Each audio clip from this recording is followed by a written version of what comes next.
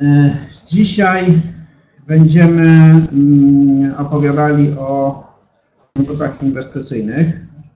Fundusze inwestycyjne to e, temat e, bardzo mi bliski, bo to jest ta forma inwestowania, lokowania oszczędności, która, którą ja w, właściwie w głównej mierze stosuję.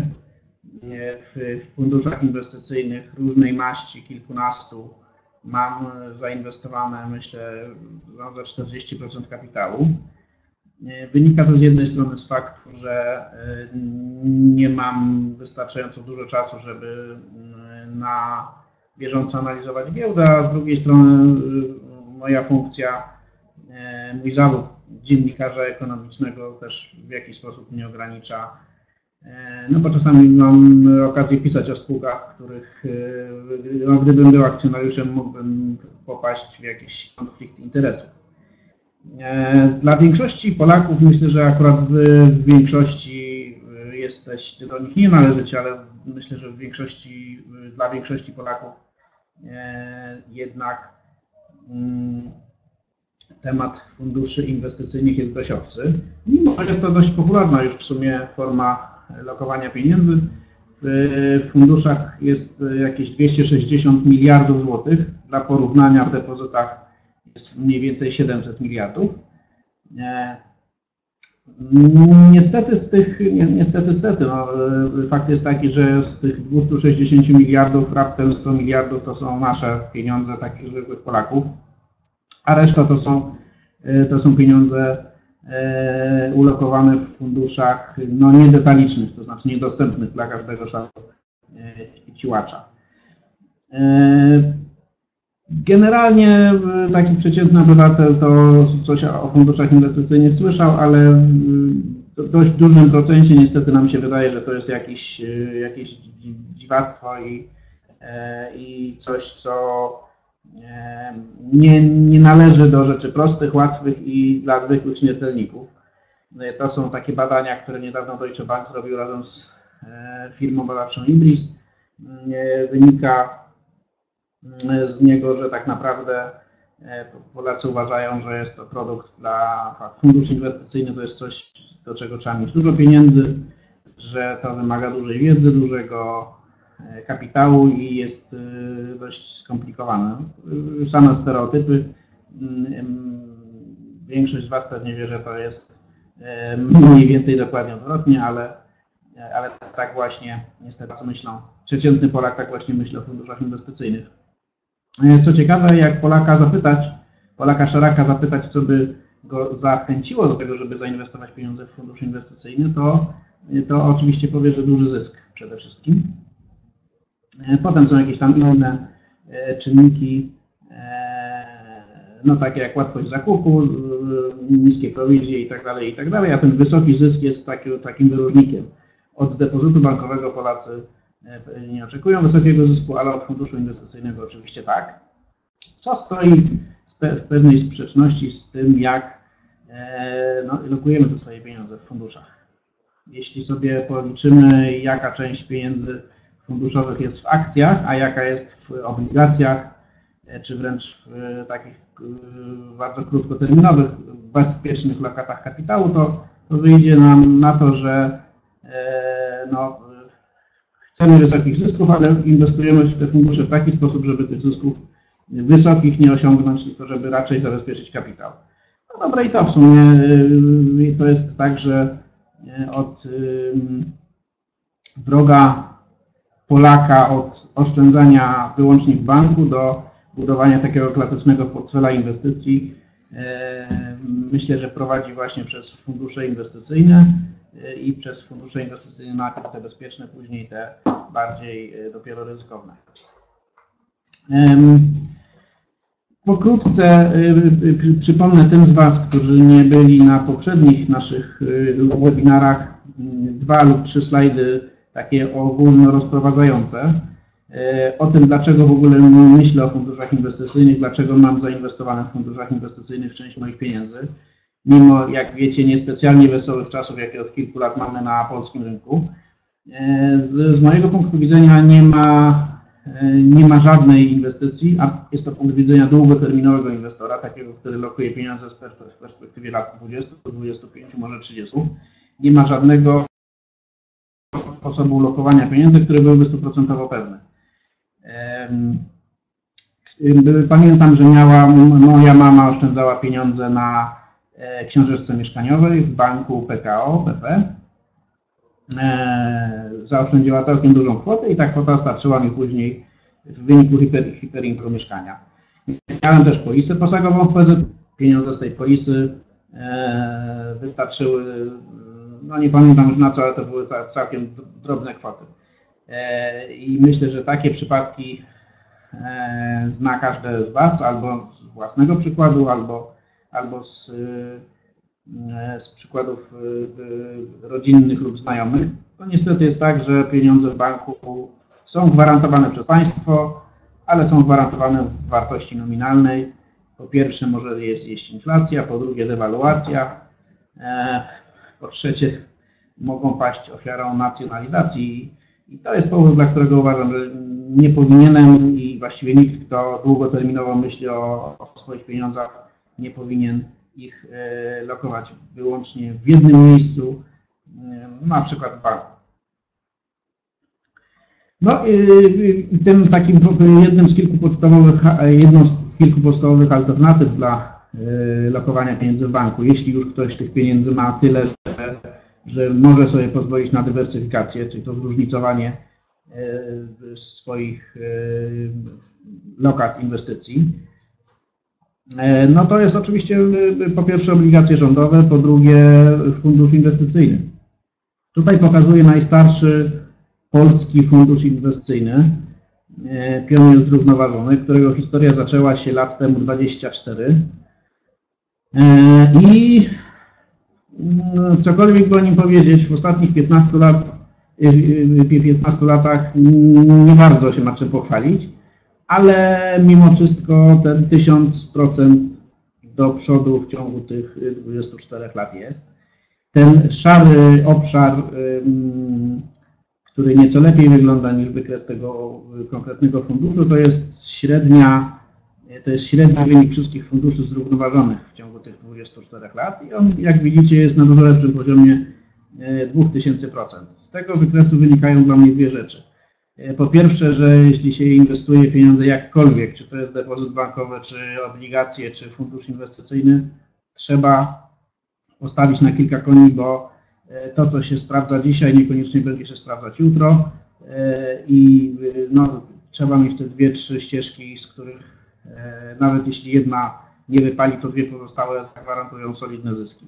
Drugi wniosek jest taki, że cokolwiek by nie mówić o tym, jak ta nasza, tak ten nasz rynek y, słabuje w ostatnich latach, to jednak y, no, lokowanie pieniędzy na rynku kapitałowym przynosiło w długiej perspektywie historycznej znacznie większe zyski niż, niż lokowanie pieniędzy w banku albo co gorsza ich trzymanie w skarpecie. Kto był na poprzednim webinarze, e, albo kto może sobie go odtworzyć, bo jest w internecie, mm, e, może pamięta taki wykres, który pokazywałem, porównanie depozytu bankowego i inwestycji e, w indeks giełdowy. To też było potwierdzenie tej hipotezy, tej tezy właściwie, że, że jednak w długiej perspektywie rynek kapitałowy nie jest taki straszny i niekoniecznie musi być E, niekoniecznie trzeba w ten sposób tracić pieniądze, a nawet wręcz przeciwnie. E, no i teraz, jeśli mamy te fundusze inwestycyjne, których dzisiaj w Polsce można kupić kilkaset, e, wkrótce w dalszej części prezentacji opowiem Wam, jak ja podchodzę do, do wyboru funduszy, jak znajduję te, które moim zdaniem będą najlepsze. No to mamy taką, taką hipotezę, że tak naprawdę najlepiej powinny się spisywać te fundusze wśród wszystkich funduszy inwestujących w akcje, które inwestują w spółki dywidendowe. No bo z jednej strony spółka dywidendowa to jest taka, która wypracowuje zysk, bo musi mieć się czym dzielić, co oznacza, że ceny jej akcji powinny iść w górę same z siebie.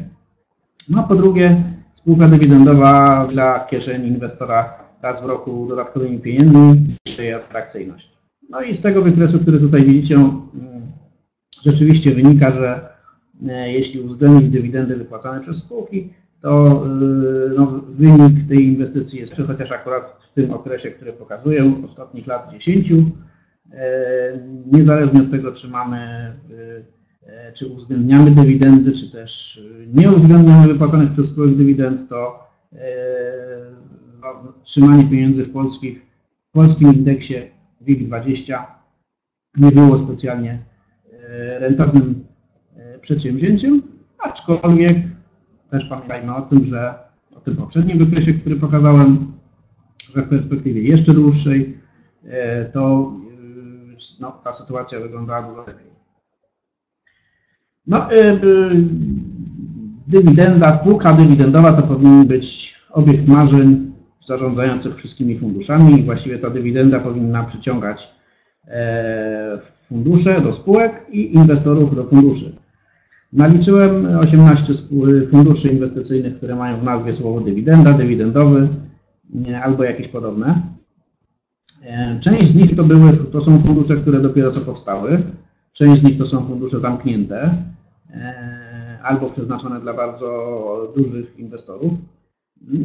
Dosłownie dwa to są takie klasyczne fundusze dywidendowe, które inwestują w spółki wypłacające dywidendy, które wypłacają E, inwestorom te dywidendy. Ściślej mówiąc, mają je wypłacać, bo tak naprawdę takie te dwa fundusze istnieją dopiero od, jeden od roku, drugi od pół roku.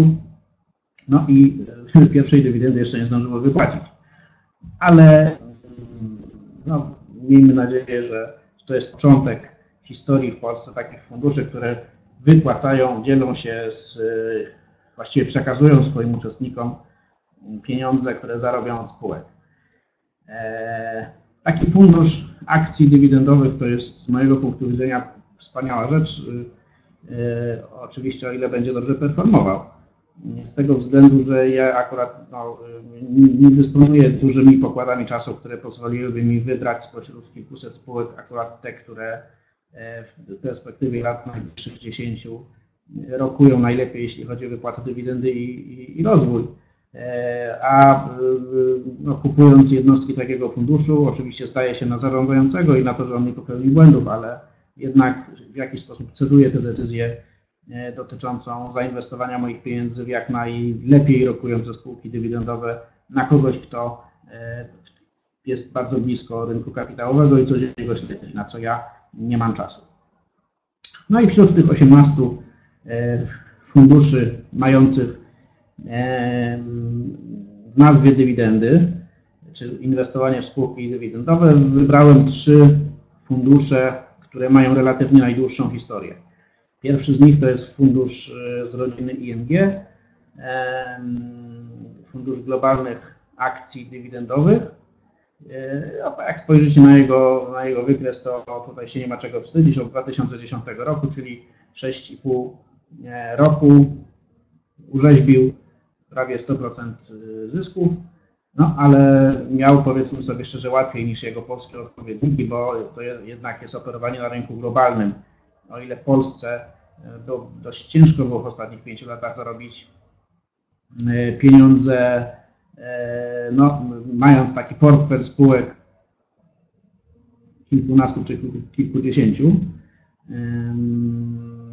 bo oczywiście można było trafić 3 lub 4 złote strzały i, bardzo dobrze zarobić, ale mając duży miliardowy portfel, y, myślę, że było to dużo trudniejsze.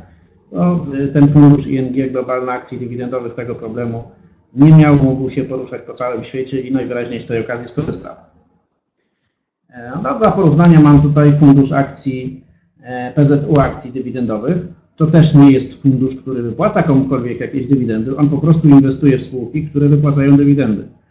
E, I te spółki, jeśli wypłacą dywidendy, to te dywidendy wzmacniają czy poprawiają wycenę jednostek uczestnictwa. Po prostu ten fundusz dzięki tym dywidendom teoretycznie powinien rosnąć szybciej niż fundusze, które no, nie bazują na, na, na spółkach dywidendowych. E, ten fundusz ma historię zaczynającą się od 2000 bodaj 9 roku, jeśli pamiętam dobrze. I w tym czasie, mimo tej koniunktury niespecjalnie korzystnej w ostatnich kilku latach na polskiej giełdzie, jak zauważycie, jednak potrafił te 60% zysków wypracować i jest to nieco lepszy wynik niż taki przeciętny fundusz akcji. To jest ten benchmark w postaci tego szarego szaru mm, na wykresie. No i trzeci fundusz tego typu, inwestor akcji dużych spółek dywidendowych. On ma w ogóle y, jedną z najdłuższych historii tego typu funduszy, bo to jest kilkanaście lat. No i w ciągu tych kilkunastu lat wyciągnął, wycisnął 200% zysków. Tak jak mówię, tak jak powiedziałem przed chwilą, w tych zyskach się zawierają również wypłacone dywidendy, bo one nie są e, niestety wypłacane inwestorom do ręki, tylko są wliczane w cenę jednostek uczestnictwa. No i mamy sobie tych kilkanaście funduszy e, dywidendowych, z których większość, przygniatająca większość to są fundusze, nie wypłacają inwestorom dywidend, a po prostu inwestują w spółki dywidendowe. Mamy dwa fundusze, które dopiero raczkują i które obiecują, że będą wypłacać inwestorom dywidendy, które otrzymają od spółek. E, I mamy pełną świadomość, że Polska nie jest pępkiem świata. To znaczy, że nasza giełda, jakkolwiek ma za sobą gigantyczną hossę, e, którą tutaj widać na tym niebieskim wykresie, nie jest jedynym rynkiem na świecie, na którym można inwestować i, e, i można w Polsce kupić fundusze inwestycyjne lokujące w spółki dywidendowe, wypłacające dywidendę, które nie bazują wyłącznie na polskim rynku. Na tym wykresie widać 20 ostatnich lat. Historia WIG-u e, to jest to niebieskie, to najbardziej dynamiczne rynek wschodzący, wiadomo.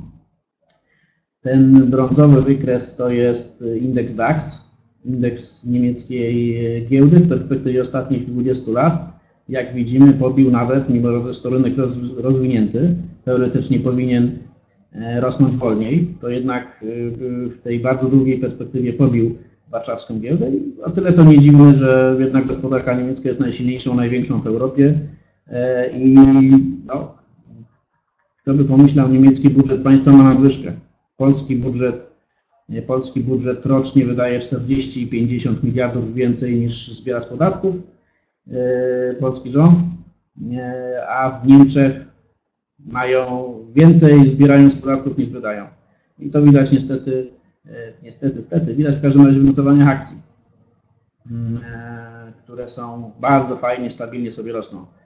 E, ten trzeci różowy wykres to jest amerykański Dow Jones. Goni, goni, goni, ale jeszcze trzecie miejsce w tej chwili w tym zestawieniu. No i paryski 40, stosunkowo najsłabszy wynik w ostatnich 20 latach. No, y, jak spojrzymy na sprawę w 10, ostatnich 10 latach, to dość dojmująco widać, że y, nie warto trzymać się wyłącznie w tym naszym polskim grajdołku niezależnie od tego, czy się inwestuje w akcje spółek, bo przecież w Polsce poprzez polskie biura maklerskie można kupić sobie akcje spółek zagranicznych. Nie jest to powiedzmy najprostsza rzecz pod słońcem, ale też nie jest to rocket science. Nie, nie ma problemu, żeby stać się akcjonariuszem McDonald'sa czy Coca-Coli to jednak y, czy, czy, to czy to jeśli mówimy o akcjach, czy to o funduszach inwestycyjnych, to warto się nie ograniczać wyłącznie do polskiego rynku. W ostatnich 10 latach, jak widać, Polska, polski rynek wręcz no, chyba nie zarobił pieniędzy, albo jeśli zarobił to jakieś zupełnie minimalne i w porównaniu z indeksem amerykańskim czy niemieckim to jest E, to, to jest niestety słabo. No i e,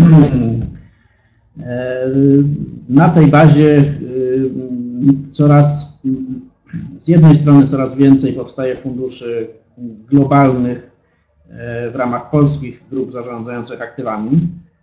Teraz w modzie bardzo są takie fundusze tak zwane multiasetowe, czyli taki fundusz we wszystko inwestujący. E, jakiś czas temu jedno z towarzystw, e, bodaj Aviva, nawet reklamowała w telewizji takie cuda i to była chyba po raz pier pierwsza od wielu lat reklama funduszu inwestycyjnego w telewizji. Występowała w niej Małgorzata Korzuchowska, znana aktorka. Jest kilka innych pomysłów, takich funduszy globalnych, które ostatnio powstały i one mają być antidotum na to, że na naszych wykresach i w polskich funduszach akcji trudno zobaczyć jakieś zyski za ostatnich kilka lat. I oprócz tego, że mamy sporo polskich funduszy inwestujących za granicą, to y, mocno zwiększa się aktywność wielkich, największych światowych grup zarządzających aktywami. Wśród funduszy, które są do wprowadzane do Polski do sprzedaży, jest sporo takich funduszy, które wypłacają dywidendy. Niedawno Franklin Templeton jedna z kilku największych grup zarządzających aktywami na świecie, poinformowała o wprowadzeniu do Polski dziewięciu, e, ośmiu albo dziewięciu, nie pamiętam, funduszy wypłacających dywidendy. Tutaj macie ich listę, listę i, i podstawowe wyniki. Jakkolwiek te fundusze nie są równami bez kolców, ponieważ większość z nich wypłaca dywidendy w sposób niezależny od tego, ile zysków przynosi i większość tych funduszy to nawet nie są fundusze akcji dywidendowych. No i to jest taka, taki, taka no, moim zdaniem wada tego typu funduszy. Ja bym chciał mieć fundusz dywidendowy, który wypłaca dywidendy, ale, ale no, żeby to, było, to, to były pieniądze, które pochodzą z dywidend zainteresowanych przez fundusz z akcji spółek. Jeśli mamy fundusz obligacji, który wypłaca inwestorowi y, co miesięczną, albo co kwartalną, albo co roczną dywidendę, no to y, istnieje dość duże niebezpieczeństwo, że ten fundusz po prostu zacznie przejadać pieniądze tego inwestora. No i co z tego, że mam te swoje dywidendy i stały dochód, skoro moich pieniędzy w tym funduszu jest coraz mniej.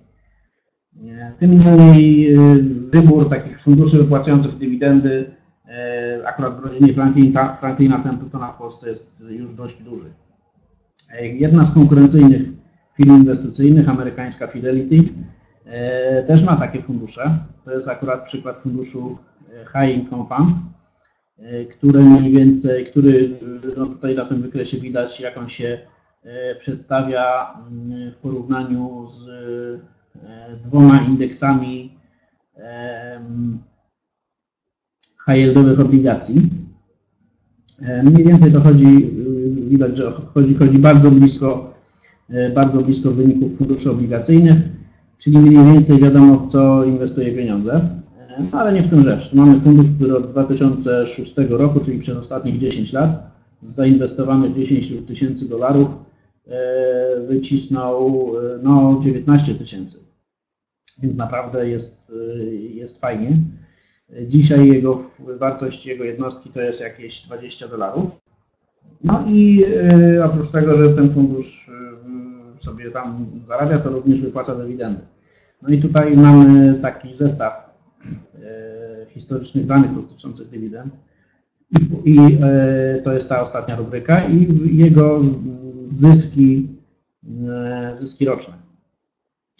Jak widzimy, takie dywidendy wypłacane z funduszu nie zawsze pokryją stratę wynikającą z tego, że ceny akcji spadają, bo na przykład w zeszłym roku, w 2015, ten fundusz e, stracił wartości jednostki uczestnictwa około dolara, bodaj z 16, 17 do 16 dolarów spadł, albo z, 7, z 18 do 17, nie pamiętam, ale mieliśmy jedno, jedno, jedno dolarowy spadek wartości jednostki uczestnictwa i w tym samym okresie, w 2015, ten fundusz wypłacił pół dolara dywidendy na na jednostkę uczestnictwa, więc y, widać, że te dywidendy, one no, nie, nie, nie gwarantują zawsze zysku, ale no, y, y, patrząc na sprawy w perspektywie lat 20, 30, takiej, w jakiej ja inwestuję swoje pieniądze, to jest rzeczywiście fajnie, jeśli mam taki fundusz, który jest, zachowuje się w miarę stabilnie albo tam coś sobie zarabia i,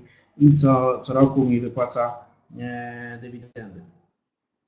No i tu mamy kolejny tego typu fundusz też e, z rodziny e, Franklina Templetona, Franklin Income Fund. E, to jest fundusz, który inwestuje głównie w akcje, aczkolwiek nie tylko. Jeśli zobaczycie na ten torcik, zerkniecie na ten torcik na samym dole, to tam, tam jest narysowane, że połowa jego portfela to są akcje, jedna, więcej niż jedna trzecia to są przeróżne instrumenty o stałym dochodzie, no i cała reszta to są jakieś jeszcze inne instrumenty, no i ten fundusz. To jak zerkniecie na ten wykres kolorowy na samej górze, to wykres tego funduszu jest, nie, to, jest, to jest ta niebieska linia. On mniej więcej się od lat, w ostatnich pięciu latach się trzymał na jednym poziomie. To było cały czas w okolicach tego, tej samej wartości udziału. To czerwone nad nim to jest wykres indeksu e, amerykańskiego S&P 500. Więc jeśli byśmy 5 lat temu zainwestowali w indeks, to byśmy byli plus 80%. Inwestując w ten fundusz, mniej więcej zachowujemy ten kapitał, który mieliśmy. E, no oczywiście e, ryzyko jest mniejsze, tak, ale, ale, ale w czym rzecz? Mamy, ten, mamy taki fundusz, który właściwie sobie stoi w miejscu i ten fundusz oprócz tego, że stoi w miejscu, wypłaca dywidendy. I w zasadzie w tych dywidendach jego główny zysk, bo jednostki sobie po prostu się turlają na samym poziomie. E, no i dywidenda z takiego funduszu y, jak ten y, to y, wynosi rocznie między pół dolara a 60 centów e, rocznie. Jeśli sobie zerkniecie na, ten, na tę tabelkę, która jest pod, pod nazwą funduszu, to zobaczycie, że wartość jednostki uczestnictwa tego funduszu, ona mniej więcej się, się, się zmienia między 10, 10, a powiedzmy no to 12-13 dolarów i ten fundusz, niezależnie od tego, że ma tam te swoje 10 albo 13 dolarów wartości, rok w rok wypłaca między pół dolara a 60 centów dolara, a 60 centów. Y, no i właściwie y, tym chciałem Was głównie zapłodnić dzisiaj, żebyśmy myśleli o takich funduszach, niekoniecznie o takich, które muszą wypłacać dywidendy, i, ale generalnie o inwestowaniu w fundusze w taki sposób nieco szerszy, nie przez pryzmat tylko polskiego rynku. Jeśli ktoś z Was ma już taką podstawową poduszkę finansową, te 30-40 tysięcy złotych e, w oszczędnościach, to myślę, że warto powoli wysunąć nas z banku i spróbować e, przynajmniej niewielką część tych pieniędzy, na początku może 5%, może 10%, ulokować w jakieś dwa fundusze inwestycyjne, w jakieś spółki, E, jeśli ktoś e, nie miał wiele wspólnego z, z rynkiem kapitałowym do tej pory, to pomyślę, że właśnie bardziej fundusze inwestycyjne niż spółki. E, I, i sobie zacząć, warto sobie zacząć te, ten swój portfel jakoś tam różnicować i, i też nie ograniczać się wyłącznie polskich funduszy, bo tych, ten, tych, tych możliwości inwestowania jest coraz więcej. Myślę, że fundusze wypłacające dywidendy, to będzie, no będzie na to zaraz duża moda w Polsce i, i myślę, że paleta tego typu produktów będzie coraz e, większa. Teraz jeszcze kilka słów na sam koniec o tym, jak się, e, w jaki sposób zacząłem budować swój portfel funduszy inwestycyjnych. To jest bardzo prosty plan systematycznego oszczędzania, który jest, jest dla każdego właściwie nie ma żadnych ograniczeń, nie trzeba wiele wiedzieć o rynku, nie trzeba mieć jakichś wielkich kwalifikacji, doktorat z finansów jest kompletnie niepotrzebny. E, zaczyna się to wszystko od konta, od konta oszczędnościowego, wpłacam tam po 100, 200, 500, 1000 zł miesięcznie, na co ile, na, na, na ile kogo stać. Kiedy saldo wynosi 10 tysięcy złotych, połowę tych pieniędzy zabieram na e, jakąś lokatę, i znowu sobie ciłam na tym koncie oszczędnościowym. Jak znowu będzie 10 tysięcy, znowu połowę zabieram. Dlaczego połowę? Ano dlatego, że e, w inwestowaniu ważna jest też płynność, więc jeśli mam część pieniędzy zablokowanych na depozycie terminowym, to drugą część muszę mieć koniecznie zawsze pod ręką. I po to jest właśnie to konto oszczędnościowe, ono nigdy nie może być puste. No i tak sobie e, zbieram na tym koncie oszczędnościowym, przerzucam kolejne y, pieniądze na lokaty. Jak już mam tych lokat dwie lub trzy, to potem sobie kupuję za kolejną połówkę osadu e, na koncie oszczędnościowym jakieś, jakieś obligacje, potem może jakieś drugie obligacje, no i potem przychodzi czas na fundusz inwestycyjny e, i, no i zaczyna być wtedy zaczyna być ciekawie, bo ten portfel zaczyna być już, zaczyna przypominać już coś, coś takiego docelowego, to takie, taki pomysł na e, na długoterminowe inwestowanie z prawdziwego zdarzenia. E, no, w tym momencie zwykle odzywają się ci z Was, którzy uważają, że, że nie stać ich na to, żeby te 50, 40, 30 tysięcy mieć. E, oczywiście jest 20% ludzi w Polsce, którzy, których może, których na pewno nie stać na oszczędzanie. To są ludzie, którzy ledwo wiążą koniec z końcem, którzy są w długach, którzy mają bardzo niskie dochody. Natomiast e, dwie trzecie Polaków stać na oszczędzanie. Z, tej, z tych dwóch trzecich 10-15% rzeczywiście oszczędza. E, pozostali, pozostałym chyba brakuje bardziej nawyków i takiej motywacji niż, niż pieniędzy. Ja, mój sposób jest taki, żeby oszczędzać w taki sposób, żeby nie bolało. E, I to są trzy, trzy patenty. Mam w banku taki produkt, który e, się nazywa Saver, konto Saver. Takie coś jest w sześciu bankach w Polsce. I polega to na tym, że jeśli płacę za coś kartą 54 zł, to ten Saver zaokrągla moją transakcję o wskazaną przeze mnie kwotę, zawsze tę samą. To może być albo dopełnienie do pełnych dziesiątek złotych, albo to może być na przykład 3 zł od każdej transakcji. No i te pieniądze idą sobie na konto oszczędnościowe. Ja nawet o tym nie wiem, nie pamiętam, nie kontroluję tego, one się po prostu oszczędza się samo. E, I y, oczywiście y, staram się też mieć zlecenie stałe w banku na, na kwotę wynoszącą mniej więcej 1% moich miesięcznych dochodów schowam, zawsze staram się sobie schować przed sobą te pieniądze, żeby się do nich nie przyzwyczaić. Nie boli mnie to całkowicie, bo e, no, ten 1% dochodów to nie jest taka kwota, która, której brak mógłbym poczuć, a w skali wielu miesięcy i lat e, zbiera się z tego całkiem e, fajna kwota. No i o, o trzeci patent od każdej podwyżki, którą otrzymuję albo od jakiegoś nadzwyczajnego zarobku, pobieram 20% prowizji i odkładam na konto oszczędnościowe.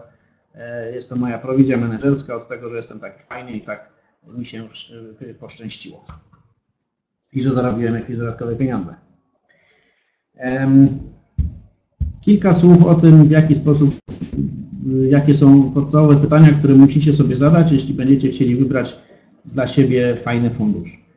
E, pierwsze pytanie, które trzeba sobie zadać, to czy to powinien być fundusz, który inwestuje w konkretną branżę. Nie wiem, to no, kiedyś modna była branża finansowa, potem była modna branża deweloperska. E, inwestowano w branżę na przykład energię odnawialną. Takie branżowe inwestycje są fajne, ale bardzo ryzykowne.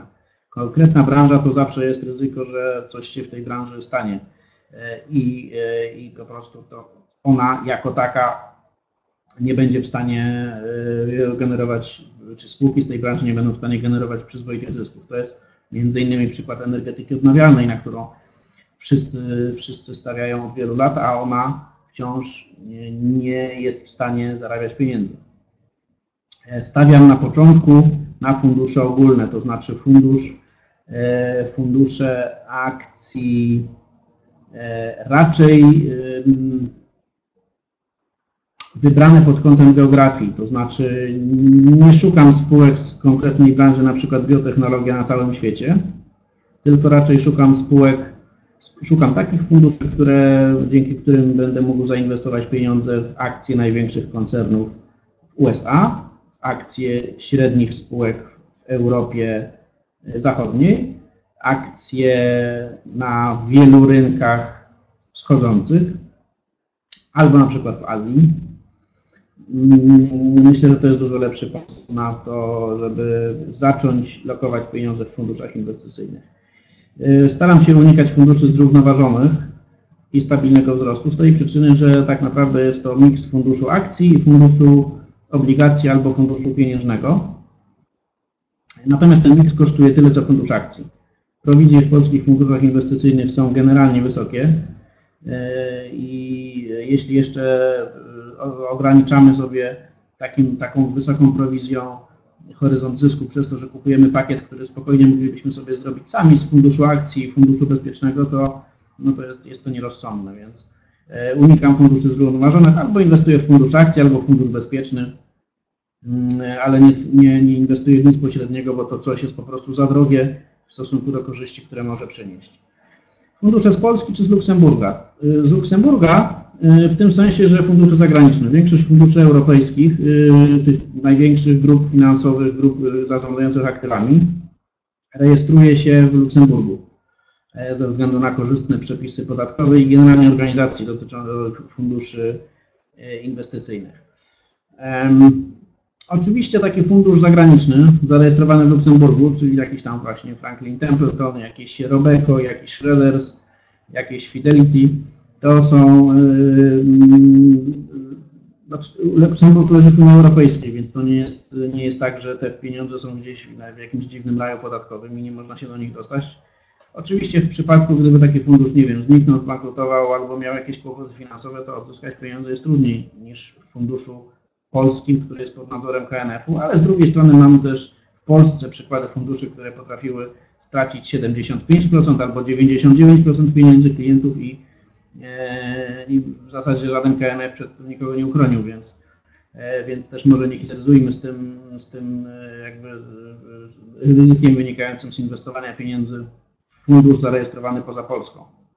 E, W moim portfelu inwestycji są, jest 7 albo 8 funduszy polskich TFI, z których część inwestuje pieniądze w Polsce, a część za granicą.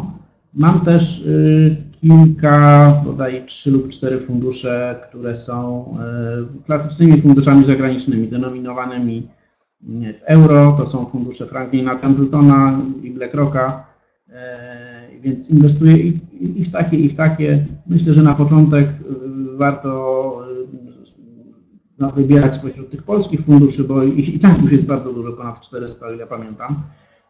Natomiast pewnie e, jakoś docelowo warto włączyć do tego swojego portfela, czy myśleć już o włączeniu do tego swojego portfela jakiegoś funduszu, który będzie zarządzany przez y, no, e, ludzi specjalizujących się w tym w skali Europy lub, y, lub świata. Pamiętajmy o tym, że taki fundusz, mm, fundusz y, Franklina Templetona, czy BlackRocka, czy Schroedersa zaż- pobiera znacznie niższe opłaty za zarządzanie pieniędzmi niż fundusze polskie. W takim przeciętnym funduszu amerykańskim czy zachodnioeuropejskim opłata za zarządzanie to jest 0,5%, 0,7% w skali roku. E, Natomiast w przypadku polskich funduszy to jest 2-3, zdarzają się fundusze, które biorą nawet 4% w skali roku. Myślę, że te prowizje zaczną niedługo spadać, natomiast dziś jest tak, że fundusz, fundusze Franklina Templetona, BlackRocka i innych za, za, zachodnich grup e, zarządzających są po prostu tańsze. Nie dość, że ten, ten, ten wybór funduszy jest znacznie większy niż w przypadku polskich TFI, to jeszcze to zarządzanie jest tańsze. E, No po drugiej stronie jest oczywiście ryzyko walutowe. Są część z tego typu funduszy zabezpiecza ryzyko kursowe. Kupuje, można kupić na przykład fundusze Franklina Templetona denominowane w złotych, czyli one są niepodatne na ryzyko kursowe, natomiast większość tego typu funduszy to są fundusze denominowane w e, dolarze, w euro, zdarzają się też fundusze denominowane na przykład we franku szwajcarskim. E, I to ma swoje złe strony oczywiście, bo jeśli coś się dzieje z walutami, to my na tym albo dodatkowo tracimy, albo dodatkowo zyskujemy. Taki fundusz zachowuje się dużo mniej stabilnie, ale ja na przykład w swoim portfelu inwestycji staram się mieć takie fundusze, które mają, które są denominowane w dolarze, denominowane w euro. To jest taki pomysł na to, żeby się zabezpieczyć przed, yy, no, czy też zarabiać w przypadku, gdyby się okazało, że złoty się jakoś yy, drastycznie yy, osłabia. Fundusze duże czy małe? To jest kolejne pytanie, które sobie trzeba zadać. Fundusz ogromny, zarządzający wiel, wieloma miliardami złotych, to, to jest siłą rzeczy fundusz, który kupi indeks WIX20, czyli będzie po prostu wszystkie największe spółki i będzie w zasadzie poruszał się w rytm tego indeksu. Raczej nie pobije go, bo opłaty za zarządzanie zjedzą ewentualną nadwyżkę wynikającą z wyjątkowych nadprzyrodzonych zdolności zarządzającego, więc będzie to fundusz, który pewnie da trochę mniej niż indeks WIG20. Fundusz mały, dynamiczny, e, nowy, to jest e, wielka niewiadoma. Nie, nie, nie, prawdopodobnie taki fundusz nie ma wielkiej historii, w związku z tym nie, nie wiemy, czego się po nim spodziewać. Gdybym miał wybierać, y, wybrać trzy fundusze inwestycyjne i na przykład w każdym z nich włożyć po, nie wiem, 2000 albo 5000 zł, to pewnie bym, bym, bym na początek wybrał dwa duże, jeden mały. Albo jak ktoś lubi ryzykować dwa małe, jeden duży, ale raczej pewnie zacząłbym od takich większych funduszy, żeby, no bo one są siłą rzeczy bardziej stabilne, aczkolwiek no, szansa na to, że taki fundusz będzie gwiazdą jest oczywiście mniejsza. No i oczywiście kupuję fundusze wyłącznie w internecie. Czasami zdarza mi się pójść do doradcy finansowego, do jakiegoś brokera, do jakiegoś banku, do jakiegoś biura maklerskiego, żeby kupić fundusz, ale to są takie fundusze, które są niedostępne w internecie, albo które trzeba w internecie, znaczy których kupowanie w internecie jest bardzo skomplikowane. Bo trzeba mnóstwo wysłać dokumenty, popodpisywać coś. No, te zagraniczne grupy zarządzające aktywami są dość mocno e, nieprzyzwyczajone do standardów planujących w Polsce. My tu wszystko kupujemy sobie przez internet, a one tak nie potrafią. W związku z tym te no, najbardziej egzotyczne fundusze powiedzmy kupuję u fizycznego doradcy, natomiast wszystko, co się da kupić w internecie, kupuję w internecie i omijam w ten sposób bardzo wysokie, sięgające 5,5% opłaty dystrybucyjne, czyli to takie jednorazowe strzały, które na początku trzeba zapłacić e, za to, żeby no, y, opłacając pośrednika. Y, I, I, tutaj właśnie jeszcze pokazuję te koszty, które w przypadku polskich funduszy inwestycyjnych niestety są bardzo wysokie.